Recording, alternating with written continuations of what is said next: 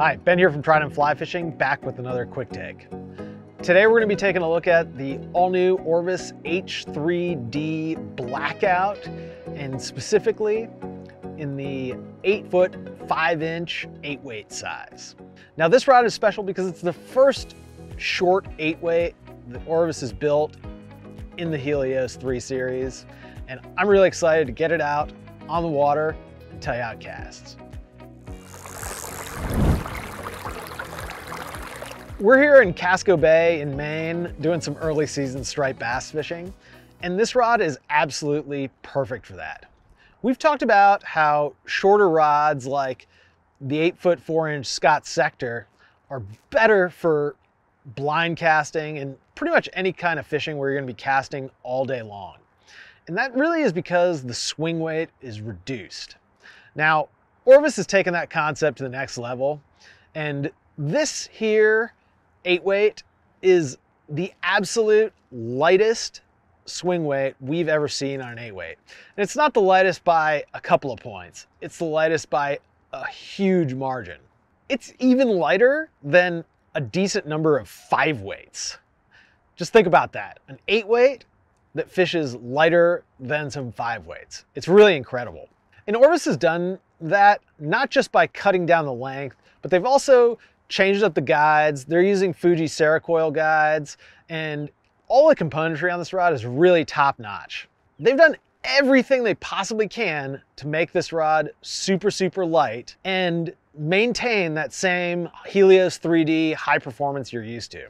I just wanted to take a moment to remind you that 100% of our funding for these videos comes from your purchases at tridentflyfishing.com.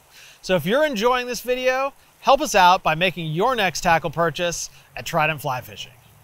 In terms of line choice, like the Scott Sector, this H3 Blackout definitely likes a heavier line. And I would say the perfect fit is gonna be somewhere between an SA Grand Slam if you're in the tropics, all the way to an SA Titan if you're fishing here in the Northeast. I've got an outbound short on it right now. It's just a little bit too heavy for this rod. That SA Titan's a little bit lighter feeling and casts absolutely perfectly. In terms of looks, this rod looks a lot like the original H3 with one exception in that they've blacked it out. And really that means they've gotten rid of the white label that most of us were maybe a little borderline about anyway. In terms of overall casting feel, this is a fast rod, but not a rod that is too fast. But that said, if you're used to the standard H3D or even the H3F, this rod's gonna be a little bit quicker. That's a factor of length and use. And I think Orvis was thinking striped bass, striped bass, striped bass when they made this. And you can tell. And so they've, they've made it fast enough to make those longer casts, light enough to cast all day long, and they've really done a great job. In terms of accuracy, obviously this is a quick take, and we're not gonna give you a scientific measurement of accuracy, but it feels really accurate. And I honestly wouldn't hesitate at all to take this out on a permit flat with a Grand Slam line. In fact, if there was a permit opportunity where you had to cast all day long, this would definitely be the rod to do it. I'm honestly super, super impressed with this rod, and I'm really tempted to actually take this in the field for a full review, but with only one rod model, it just doesn't really make sense at this point.